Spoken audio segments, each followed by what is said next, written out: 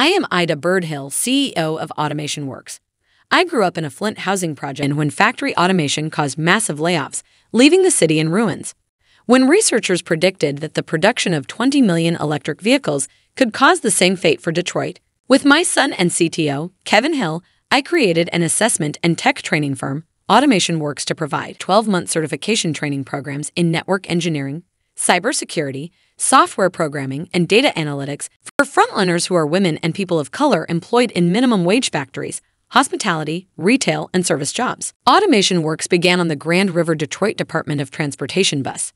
Here is our origin story. And the guy sitting next to me asked me for a paper bus schedule. And I said, no, I haven't used one of those in almost a decade. He said, so what do you use? I said, Google Maps. And as I'm talking to him about Google Maps, all of a sudden the bus gets deathly quiet. So I, I, I stood up and I said, does every, anybody else need this Google Maps lesson? And everybody raised their hand like they were in the classroom. So I was like, okay. And I ran to the front of the bus and walked people through Google Maps and how to navigate their bus routes digitally rather than paper. Bus driver says, I have never seen such a thing. And I looked at him, I said, me either. After I thought about it, I got to do something with that because that's my class classroom right there.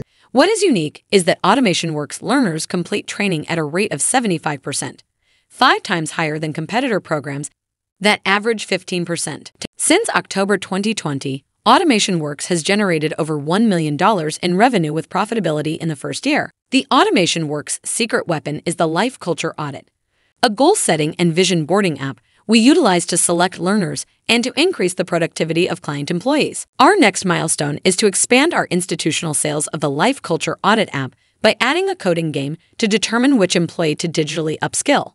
Most institutions have increased digital operations but have not promoted frontline employees because they lack digital skills. We seek to add 10 new institutional clients. Our institutional sales will be driven by marketing. Automation Workz seeks Google Ad and YouTube ad credits as well as marketing advice to expand sales. Invest in Automation Workz to increase the tech skills of frontliners.